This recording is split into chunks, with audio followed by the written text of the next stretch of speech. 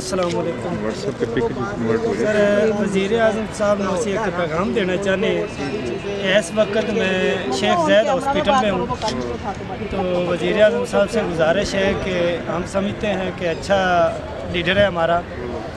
लिहाजा एक बात है कि जो उन्होंने तनख्वाहों का ऐलान किया था उसके बारे में भी कोई नहीं ना कोई तनख्वाह मिलती अगर कोई मज़दूर किसी के पास काम करता है तो चार दिन आठ दिन दस दिन करता है तो उसको उसकी मजदूरी नहीं दी जाती बाकायदा उसको उधर से भगा दिया जाता है प्राइवेट जो भी जॉब हो तो इस बारे में कोई इदारा ऐसा निकाले कि ताकि गरीब जो हैं मेहनत मजदूरी करते हैं तो उनको उनका हक मिलना चाहिए ਸਹੀ ਬਾਤ ਤੇ ਜਿਹੜੀਆਂ ਤਨਖਾਹਾਂ ਦਾ ਐਲਾਨ ਕੀਤਾ ਹੈ ਜੀ 22000 ਮਿਸਾਲ ਹੈ ਕਿ ਪ੍ਰਾਈਵੇਟ ਜੋਬ ਮਿਲੇਗੀ ਲੇਕਿਨ ਉਹ ਕੁਝ ਨਹੀਂ ਮਿਲ ਰਿਹਾ ਉਹਦੇ ਬਾਰੇ ਵੀ ਜਿਹੜਾ ਨਾ ਕੋਈ ਐਸਾ काम होना चाहिए काम जो होना चाहिए उनको- ताकि वो उन्होंने मिसाल है कि वो तनख्वाह मिले। जितनी तो जी अगर वो काम करता है तो चार दिन पाँच दिन वो कहते हैं जी ਉਹ है ना ट्रेनिंग है। ये कोई आर्मी जॉब तो है नहीं ये ट्रेनिंग है। जब सफ़ाई करते हैं गटर धोते हैं तो फिर उसकी भी ट्रेनिंग की बात ही नहीं है।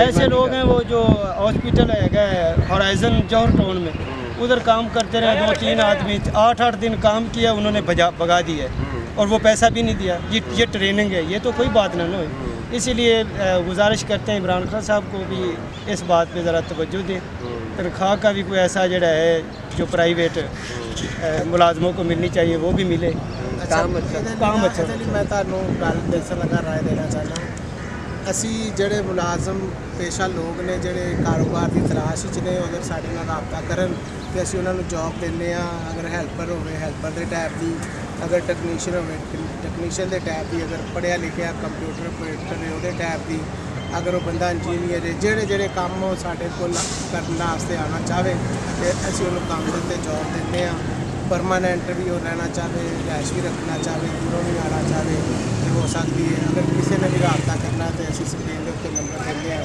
ਉਸ ਨੰਬਰ ਤੇ ਰਾਬਤਾ ਕਰਕੇ ਤੇ ਸਾਡੇ ਕੋਲ ਜੋਬ ਵਾਸਤੇ ਬੰਦੇ ਆ ਸਕਦੇ। ਠੀਕ ਹੋਗਾ ਕਿ ਉਹ ਇਹ ਹੈ ਨਾ ਕਿ ਇੱਕ ਤਾਂ ਗਰੀਬ ਆਦਮੀ ਕਿਸੇ ਨੂੰ ਅਗਰ ਕੋਈ ਚੀਜ਼ ਦੇ ਪੈਂਦਾ ਕਿਸੇ ਜ਼ਿੰਮੇਦਾਰ ਨੂੰ ਜਾਂ ਕਿਸੇ ਐਸੇ ਵੱਡੇ ਬਗਿਆੜ ਨੂੰ ਦੇ ਕੇ ਬਹਿ ਰਹਿੰਦਾ ਫਿਰ ਉਹ ਉਹਨੂੰ ਮਿਲਦੀ ਨਹੀਂ।